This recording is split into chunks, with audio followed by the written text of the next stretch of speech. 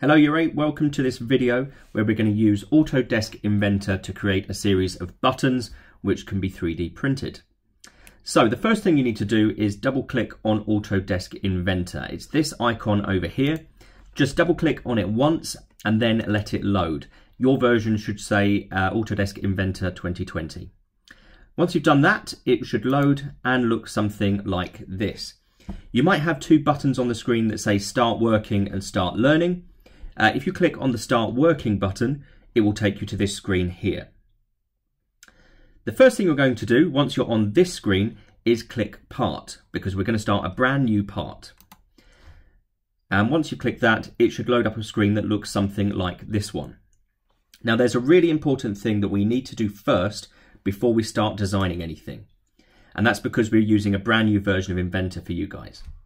So at the top, we've got the uh, tab here that says Tools. So if you click the Tools tab and then Document Settings, it will bring up this box on the screen now.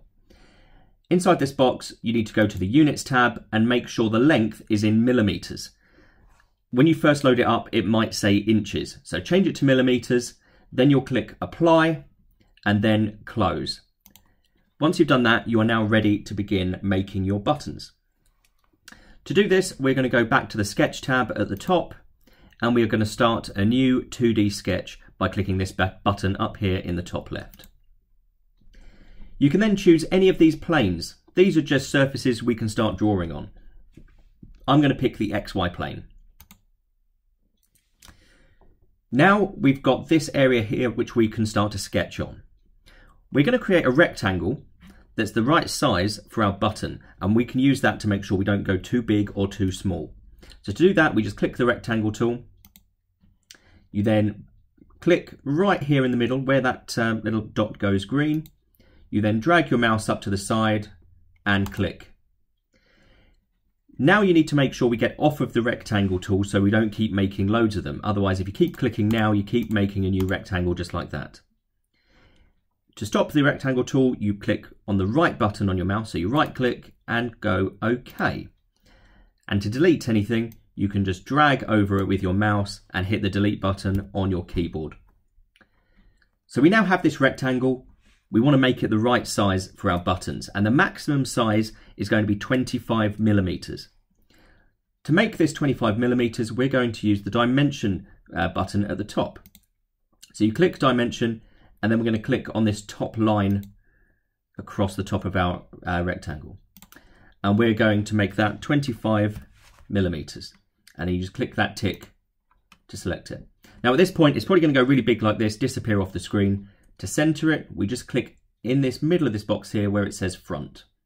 We just click that and it brings it right, right there into the middle of the page for you. We're now going to do the same again on this side.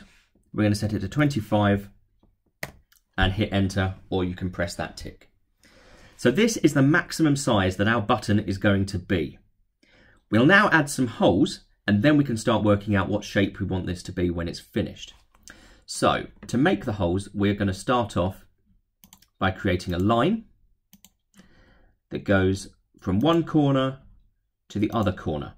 This is so that we've got a, a point in the middle of our box that we can work with. We're then going to get a little bit fancy now. We're going to change the rectangle. And if we click underneath here, where we've got this little arrow, we get lots of different options. And the one we need is the two point center.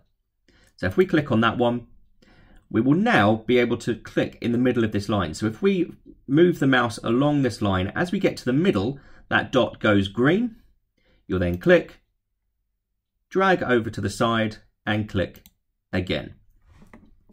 We are now going to use the dimension tool to set these to 8 millimeters, just like we did with the first rectangle.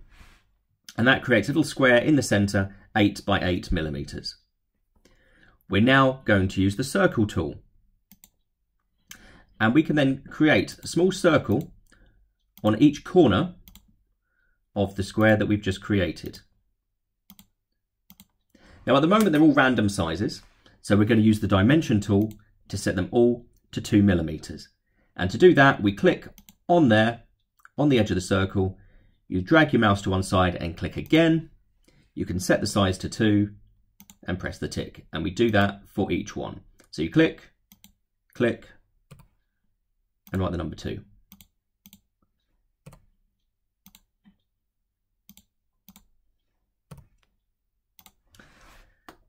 And there we have it. So those will be our little holes that we can use to sew this button on to uh, whatever it is you're making. To get off of the dimension tool, just like with any other tool, we don't want to keep uh, making dimensions all day. You right click and then you click OK. Now before we make this 3D, we need to get rid of a few of our lines that we've used to make this. So we're going to click on this diagonal line and delete it. And then we'll click on each of these lines from our 8 millimeter square and get rid of them.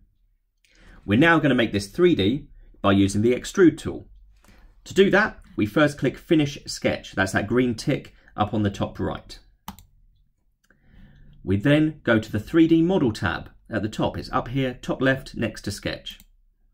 And the extrude tool is this one here. And this takes our 2D sketch and turns it into a 3D shape. So you click extrude. We then need to click on the area that we want to make 3D.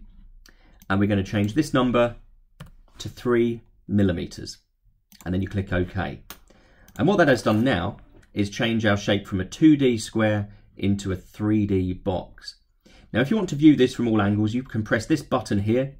And as long as you click and drag anywhere inside this circle, you can then make it uh, move around so you can see it from all sides. You can do the same using this small cube up in the top right. If you click on any corner of the cube, you can move it around. And if we wanted a square button, that would be it. That would work absolutely fine. But it is a little bit boring.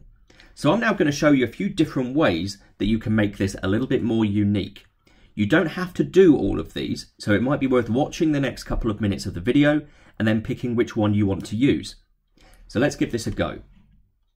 So at the moment we've got our uh, square, square button. We could um, start by rounding off the edges and we can do that using the fillet tool. So if we click on fillet, we can then select any side that we want to round off. So I'm going to start by rounding off these corners. And if we change the number here, it changes the size of the curve. So at the moment it's two millimeters. If I go a bit bigger, you can see a five millimeter radius makes a larger curve. If I go for 10, then it's even more. When you want to apply one, you just click apply and then cancel. And you can see there we've got quite a nice, slightly more rounded button now. If you want to remove anything you've done, you use the browser on the left hand side. So if I want to change that fillet, I can click on it here. I can then right click and go edit feature. And that means I can then come in and change this. I could go for a five millimeter fillet and it'll change no problem at all. If you want to delete anything and try something else, just right click on it and click delete. And then it goes back to what you had before. We could also try using the chamfer tool. So the chamfer, instead of rounding off the edges, kind of chops off those corners. So we could do the same again. I could click those corners. And if I change the size of the chamfer, so let's go six millimeters, we've now created something a bit more octagonal. That's quite a nice way as well. You can do that. So if we click apply, you can do that. And you don't just have to do this on the corners. You could also do this on those edges across the top. So if I wanted to continue with the chamfer, I could click these edges. Now, if you're doing these edges, the maximum number you can type in here is going to be three.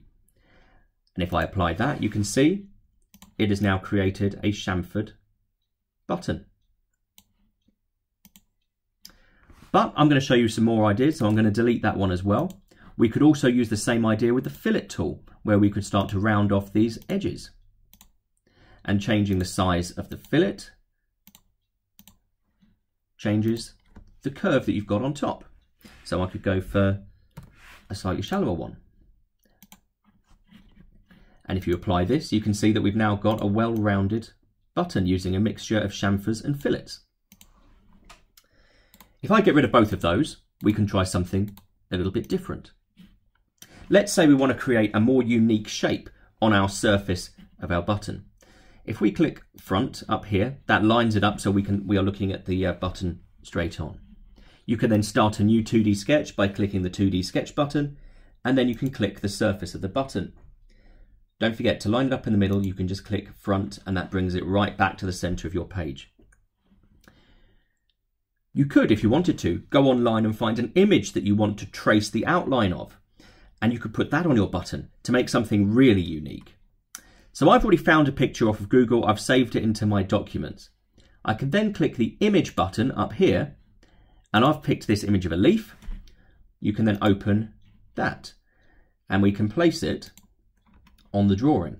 And then as always, to get out of the tool, you right click and go OK so you don't place a load of them. Now, if I zoom out using the scroll wheel of my mouse, you can see currently this image is far too big. And we can use the dimension tool in exactly the same way again to set that to 25. Now what we can do is be a little bit clever. I'm going to use the rectangle tool to trace around the outside of the shape. I'm then going to click underneath the line tool and go to spline. Spline allows us to create a really uh, sort of a fancy curved line that we can use to trace around an item. So I'm going to trace around this leaf by clicking with my mouse and every time you click it makes a new point. The really important thing here is to make sure you line up the end of this with uh, the end that you started with because we want to make a completely joined up shape. So you can click as many times as you like. The more clicks, the more accurate it's going to be. And then you keep clicking until you've traced around the whole shape. Now you might need to zoom in and out occasionally uh, to make sure that you can always click where you want to because sometimes the uh, tool gets in the way.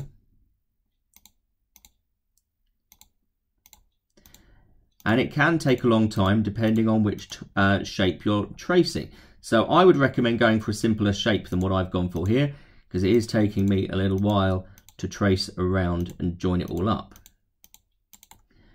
And then once you've done this, so I'm almost at the end of this now, you need to make sure that the end of your lines match up.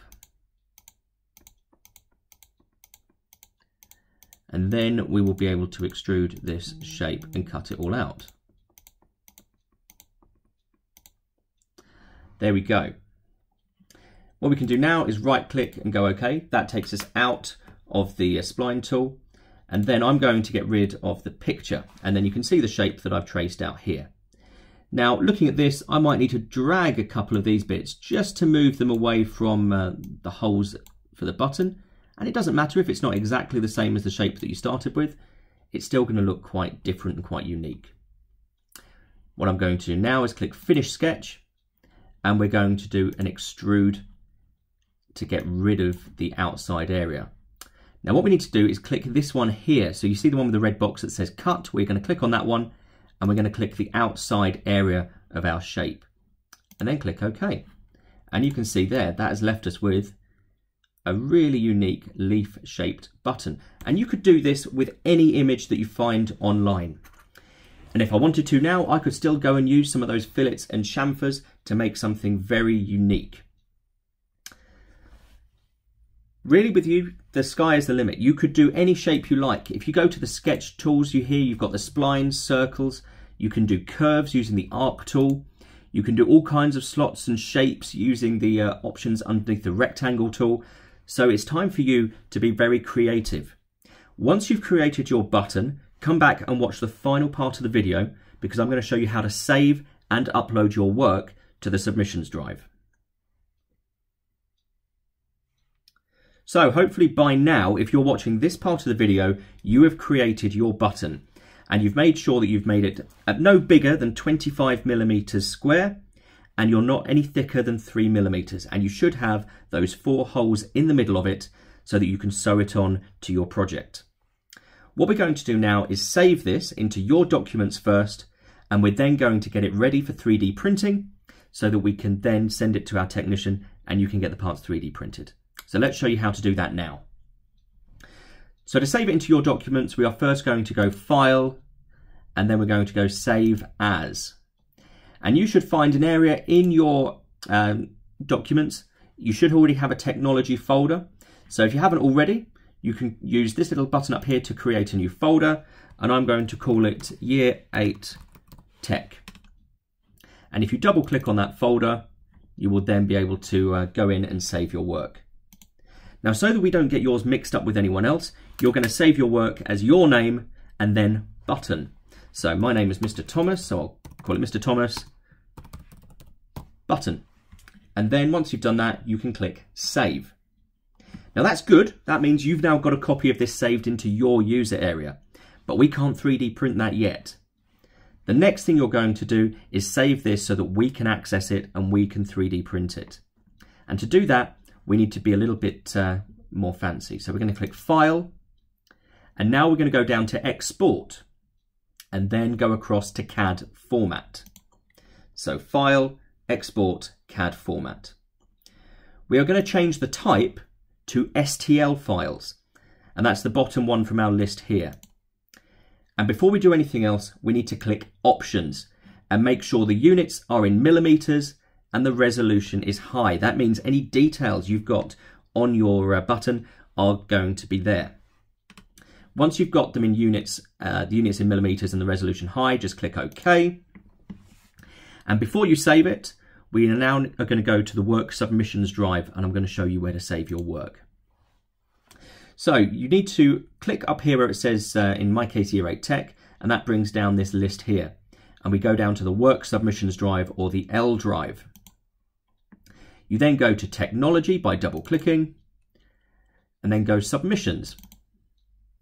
And then we are in 2021 to 22, and you are Year 8.